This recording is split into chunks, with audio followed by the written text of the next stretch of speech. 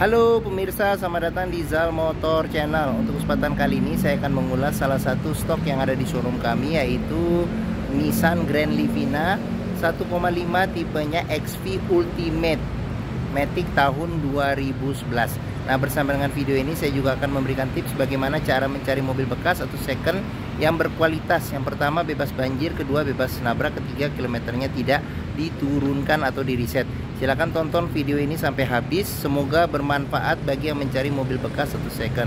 Nah, ada beberapa hal yang perlu kita perhatikan. Yang paling mudah kita kita perhatikan adalah tampilan fisik dari luar. Jadi dari luar yang perlu kita perhatikan itu adalah tongkrongan dari mobil ya atau dudukan dari mobil.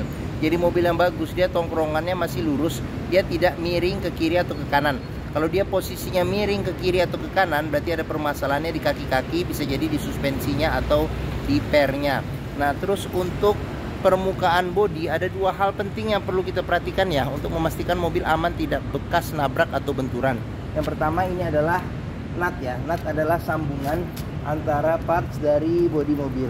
Jadi nut, nut kita periksa bahwa kita pastikan dia jaraknya itu presisi.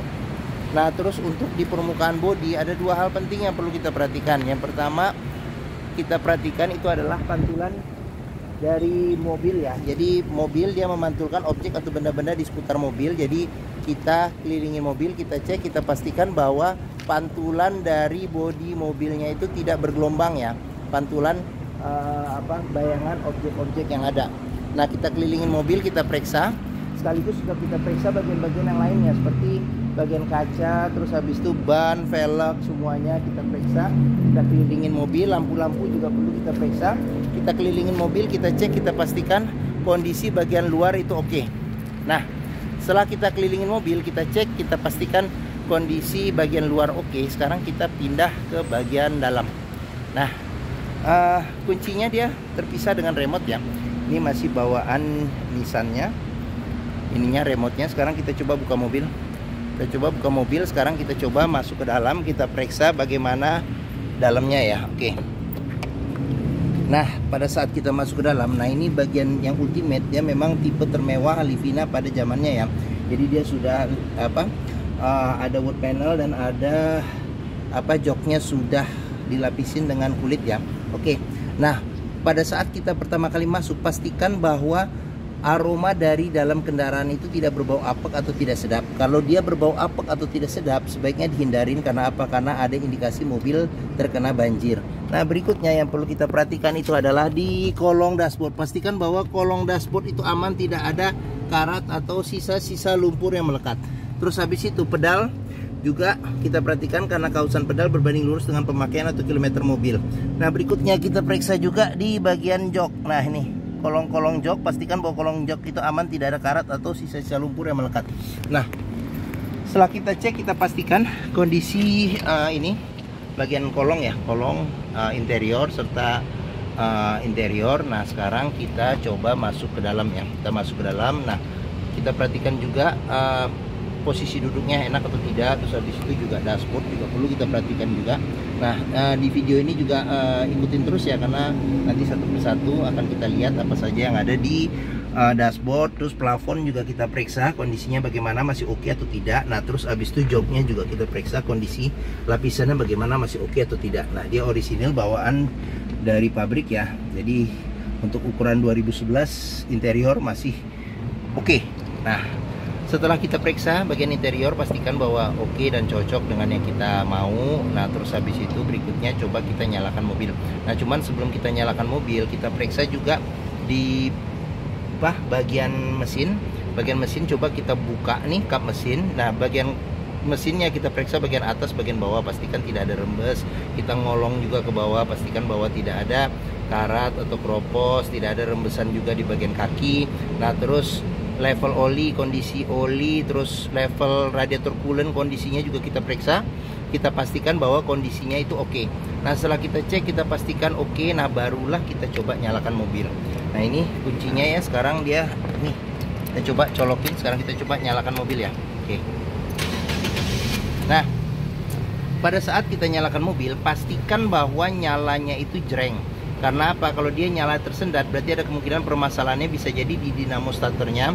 Jadi uh, apa namanya sudah perlu diservis atau bisa akinya sudah soak jadi perlu dicas atau diganti. Nah untuk getaran mesin yang masuk ke dalam bisa kita uh, rasakan dengan kita pegang setir bagaimana uh, getaran mesin terus habis itu dari posisi duduk juga bisa kita rasakan bagaimana getaran mesin yang masuk. Pastikan bahwa getaran mesin yang masuk itu minim. Karena apa? Kalau dia bergetar secara berlebih berarti ada kemungkinan permasalahan ini bisa jadi yang pertama di engine mountingnya. Jadi dia sudah keras atau sudah pecah jadi perlu diganti. Atau mesinnya pincang jadi perlu diservis atau di tune up. Atau bisa ada hal-hal lain yang menyebabkan mesin bergetar secara berlebih. Nah setelah ini, setelah itu ya kita perhatikan di kilometer Nah kilometer Grand Livina ini dia di 134.000 ya. Oke. Nah terus habis itu ini ada gantungan beberapa gantungan oli servis terakhirnya. Jadi ini masih Nah ini kayaknya sudah mesti servis berikutnya ya. Artinya mesti servis berikutnya nih ini yang terakhir. Nah servis berikut Oh baru servis ini. Baru servis Nah, oke. Okay. Nah, terus habis itu sudah dilengkapi dengan TV dan kamera mundur. Nah, di sini juga masih lengkap ya. Jadi, nah ini ada remote-nya juga nih. Remote masih ada. Terus uh, di sini masih lengkap. Jadi jadi buku sebentar nih agak susah nih harus saya buka dulu nih tadi tapi nggak apa-apa lah kita buka dulu ya jadi di sini masih lengkap jadi buku buku servis masih ada serta buku manualnya juga masih ada ya. Oke. Sama udah itu ya. Sama ada bon-bonnya juga ada beberapa bonnya masih disimpan. Oke. Nah jika kita mencari mobil bekas pastikan antara kilometer terus habis itu kondisi fisik mobil serta service recordnya itu sesuai. Jangan sampai kita dapat mobil yang ternyata kilometernya sudah diturunkan atau di reset ya. Oke nah sekarang kita periksa ke bagian mesin. Nah sebelum mesin kita periksa kita ke sini dulu deh biar gampang ya. Nah ini buat buka kap mesin nah ini buat buka uh, tangki bensin. Nah di bagian sini ini pengaturan spion di sudah elektrik tapi dia belum retract ya. Oke. Nah terus kita periksa door trim nih. Nah kondisi door trim masih oke. Okay. nah ini dia sudah wood panel ya tapi di sini ada nah nih lecet sedikit nih karena pemakaian. Nah di bagian sini ada ini buat central lock, di sini buat lock unlock power window. Nah, di sini ada buat buka uh, power window di keempat pintunya ya. Oke, sekarang kita buka saja uh, windownya yang bagian supir. Nah, terus di sini juga perlu kita periksa nih sealer. Pastikan bahwa sealer di pintu ini masih aman. Karena apa? Apabila sealer pintu tidak ada, berarti ada kemungkinan uh, pintu sudah gantian. Dan apabila sealer di pintu itu rusak, berarti ada kemungkinan uh, pintu sudah reparasi. Nah sekarang kita periksa ke bagian mesin. Ini mesin nah dia agak ke kanan sedikit ya kanan sedikit. Nah kita tuasnya kita uh, dorong ke kiri. Nah baru kita buka kap mesin. Kita angkat ya oke. Nah Grand Livina ini mengusung mesin 1500 cc 4 silinder dengan penggerak roda uh, depan ya. Jadi mesinnya ini kalau nggak salah sama persis dengan saudaranya Evalia ya jadi mes eh kok saudaranya. Sama dengan mesin Nissan Evalia. Terus habis itu sama juga dengan mesin Nissan Mars yang uh, kapasitas mesinnya 1500 ya. Nah sama juga dengan mesin yang dipakai oleh ini. Uh, ini waktu dulu kan ada tuh dipakai buat taksi juga ini Latio. Latio yang mesin 1500 cc. Nah uh, untuk memeriksa mobil yang tidak bekas nabrak kita bisa perhatikan di sini nih di kap mesin juga ada sealer. Pastikan bahwa sealer di kap mesinnya aman. Dan kap mesin juga pastikan tidak ada reparasi atau perbaikan. Nah terus habis itu di bagian depan nih besi apron kita pastikan bahwa dia kondisinya aman tidak bekas reparasi. Bagian samping-samping juga kita periksa. Jangan sampai ada bekas reparasi atau perbaikan. Nah untuk memeriksa mesin kondisinya masih bagus. Kita bisa dengarkan ritme suara mesin. Terus habis itu putaran mesinnya juga dia masih minim ya mesin yang bagus nah untuk memeriksa mobil tidak bekas banjir kita bisa periksa di komponen-komponen mesin atau di bagian-bagian yang sulit untuk dibersihkan pastikan bahwa tidak ada karat atau sisa-sisa lumpur. Nah fan listrik juga perlu kita periksa untuk memastikan pendinginan mobil masih oke atau tidak. Oke. Nah bagi yang mencari mobil keluarga dengan kapasitas 7 penumpang yang eksistensi Livina juga lama ya sampai sekarang juga masih ada walaupun dia sudah ber, sudah hampir mirip eh hampir mirip dengan uh, Mitsubishi Outlander ya. Eco Outlander sih Expander sorry. Nah tapi memang uh, Livina ini termasuk yang nyaman di kelasnya. Terus habis itu uh, untuk BBM nya sih relatif ya mesin 1500 cc. Terus habis itu juga uh, harga juga relatif terjangkau dibandingin dengan kompetitor-kompetitor lainnya. Terus habis itu juga termasuk yang awet juga sih mobil perawatannya juga simple tidak terlalu rumit hampir semua bengkel juga bisa menangani dan Nissan juga dealer-dealernya juga ada di daerah-daerah juga ada juga ya seperti itu. Mungkin Nissan Grand Livina ini menjadi pilihan yang dapat dipertimbangkan. Oke sekarang kita periksa bagaimana posisi di duduk ya duduk sama bagian dalam di baris ke dua sama ketiga. Nah kita masuk ke dalam ya saya tingginya 174 cm ini posisi mengemudi saya. Saya masih dapat legroom yang wah luas juga nih. Mungkin ada sekitar 9 10 hampir 10 jari, eh 9 jari ya. Nah terus headroom juga masih lumayan. Jadi mobil kelihatannya pendek tapi uh, space di dalam masih lumayan oke okay ya. Nah seperti itu. Nah terus kita ke bagian belakang. Nah di bagian belakang ini uh, jok pelipatannya 100% ke depan ya. Dia bisa rata lantai ya jadi untuk bagasinya. Nah di bagian sini ada dua senderan kepala yang bisa diatur level ketinggiannya. Nah di bagian sini ada cup holder sama ada tempat kecil penyimpanan. Di sini ada ini uh, apa namanya? Oh sebentar radio saya kecilin dulu nih. Saya takut nanti ini kena ini copyright claim. Nah oke. Okay. nah sip. Oke okay. nah uh, di sini ada nah ini nih ada lampu. Lampu di sini ada modelnya retract ya handle tangan modelnya retract. Nah terus habis itu ini sini ada cup holder sama ada tempat penyimpanan terbuka. Nah cuman di bagian belakang tidak ada seat belt ya. Tidak ada seat belt. Nah sekarang kita ke bagian tengah. Nah di bagian tengah ini yang tempat yang termasuk nyaman di eh di Suzuki di Nissan Grand Livina ini. Nah dia ada Wah ini senderan apa namanya? Ada seat belt ya, ada seat belt tiga titik ada dua serta dua titiknya ada satu. Nah di sini pelipatan jok bisa 60 persen, 40 persen 60 persen ke depannya. Nah di sini ada senderan tangan, ada dua cup holder di bagian sini. Nah terus habis itu di sini tidak ada cup holder ya, cuman uh, ada tempat penyimpanan aja nih terbuka. Nah di sini ada tempat penyimpanan, di sini ada kisi-kisi AC ya, cuman dia memang anginnya otomatis tidak bisa diatur kecepatannya hanya ngikutin angin dari uh, depan. Nah terus habis itu ada entertainment nih. Nah ini ada eh, TV senderan kepala nih. Nah masih aktif juga nih dua-duanya. Coba kita lihat dulu. Masih nyala? Oh masih nyala nih tuh. Nah ini juga. Nah cuman lagi nggak pakai CD nya nggak dinyalain. Oke. Okay. nah sekarang kita lanjut kita periksa. Di bagian sini ada handle tangan nih. Ada lampu di bagian tengah oke okay. nah door trim kita periksa juga nih kondisi juga masih oke okay. terus habis itu di sini ada tempat penyimpanan terbuka terus si uh, lock sudah dilengkapi nah sealer pintu juga perlu kita periksa pastikan bahwa dia kondisinya masih oke okay ya oke okay. nah sekarang kita pindah nah ini uh, ban velg terus habis itu ini pengisian bensin ada di sebelah kanan sekarang kita ke bagian belakang ya Nah di bagian belakang ini dia uh, kaca sudah dilengkapi dengan defogger belakang, ada wiper belakang, Grand Livina. Nah ini 1,5 Ultimate ya, Ultimate Matic Automatic. Nah sini buat handle buka pintu sudah dilengkapi dengan sensor parkir 2 Oke sekarang kita coba kamera mundur. Sekarang kita coba buka bagasi. Nah space bagasi masih lumayan ya.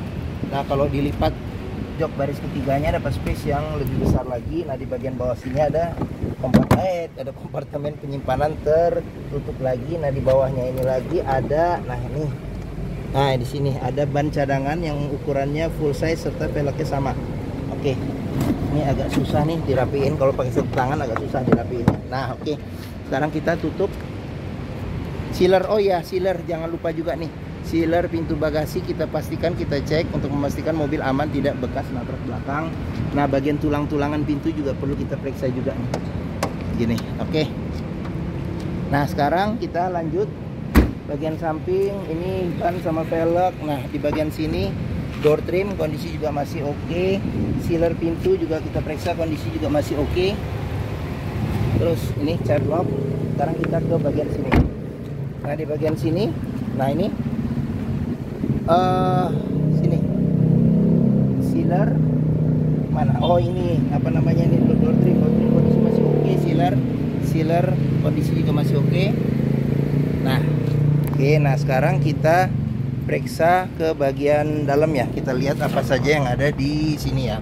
Nah untuk uh, setirnya sendiri ini dia wood. Nih cuman ada apa lecet karena pemakaian terus habis itu secara keseluruhan sih masih oke. Okay. nah di sini lengkapi dengan airbag bagian setir. Nah ini cluster speedometer. Nah di bagian sini ada pengaturan buat lampu lampu sen serta lampu dim. Nah di sini ada pengaturan buat wiper depan belakang serta air wiper. Nah terus habis itu di bagian sini ada kisi-kisi uh, AC nah ini dia wood panel ya wood panel juga kiri dan kanan. Nah ini uh, LCD TV sudah dilengkapi dengan kamera mundur bisa CD juga mini SD juga bisa. Nah di bagian bawah ini ada pengaturan buat uh, eh, AC ini buat arah semburan AC ini buat defogger eh buat ventilasi luar dalam ini buat suhu AC nah di sini buat ini uh, kecepat uh, kecepatan angin AC sampai 4 level. Nah di sini ada buat defogger uh, kaca belakang. Nah ini agak uh, apa pudar-pudar uh, ini ya karena pemakaian. Nah di bagian sini ada uh, apa namanya ini? Colokan rokok bisa buat power outlet. Di sini ada cup holder 2 terus habis itu di sini ada tuas maticnya ya. Matic dia sampai satu kecepatan paling rendah. Ini ada shift locknya modelnya model tekan. Nah di sini ada handle rem tangan sama ada tempat penyimpanan kecil nih. Oke, nah di sini juga kita bisa lihat nih apabila ada karat atau sisa lumpur berarti ada indikasi mobil terkena banjir. Oke, nah terus habis itu di sini ada tempat penyimpanan tertutup. Nah di bagian sini ada laci penyimpanan tertutup juga. Oke, di sini ada tempat penyimpanan terbuka. Nah, terus kita ke bagian sini. Nah, di sini uh, tangan handle model retract. Nah, di sini ada sun visor, ada cermin tapi tidak ada tutup. Nah, uh, spion sudah bisa diatur level kesilauannya secara manual.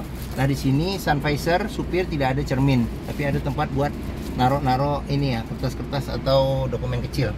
Nah, mungkin ini saja video uh, saya mengenai salah satu stok yang ada di showroom kami yaitu Nissan Grand Livina 1,5 tipenya XP Ultimate uh, Matic tahun 2011. Apalagi apabila berminat silakan hubungi Zal Motor. Nomor telepon, alamat, deskripsi mobil, harga serta simulasi kredit saya cantumkan di deskripsi video ini ya. Jangan lupa dibuka, tertulis lengkap. Nah, pembeliannya bisa dengan cash bisa, kredit bisa atau tuker tambah bisa. Nah, ada rekanan kami juga bisa melayani kredit dengan sistem syariah ya bagi yang mau syariah Nah, jangan lupa juga jika kita mencari mobil bekas atau second, pastikan kita bisa test drive mobil. Karena apa? Karena dengan test drive kita bisa melihat dan merasakan kualitas mobil mulai dari rasa berkendaranya, performa mesin, kaki-kakinya bagaimana, power steeringnya, pengeremannya, terus maticnya masih responsif atau tidak, perpindahannya masih halus atau tidak bisa kita rasakan dengan kita test drive. Nah, Zal Motor sendiri terletak di sini nih di Pusat Otomotif Sentra Harapan di Harapan Indah Bekasi yang memiliki area parkir yang luas. Ini dari gerbang utama menuju Zal Motor mudah, tinggal lurus ketemu bundaran, nah tinggal belok ke kiri sedikit. Nah ini di hook tuh, pas di hook tuh Zal Motor.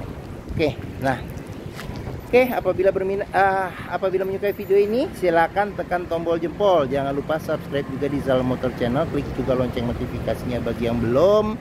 Nah, eh, follow juga di sosmed kami ya di Facebook, TikTok, Twitter, Instagram ya Zal Motor Channel. Akhir di akhir video ini saya juga mencantumkan playlist mengenai stok yang tersedia, playlist mengenai beberapa video uh, mobil Nissan yang lain serta uh, uh, apa playlist mengenai tips mencari mobil bekas atau second. Oke, terima kasih. Semoga video ini bermanfaat. Silahkan komentar juga boleh. Share juga ke keluarga, kerabat, saudara, teman-teman, siapa pun juga yang sedang mencari mobil bekas. Terima kasih dan sampai jumpa lagi.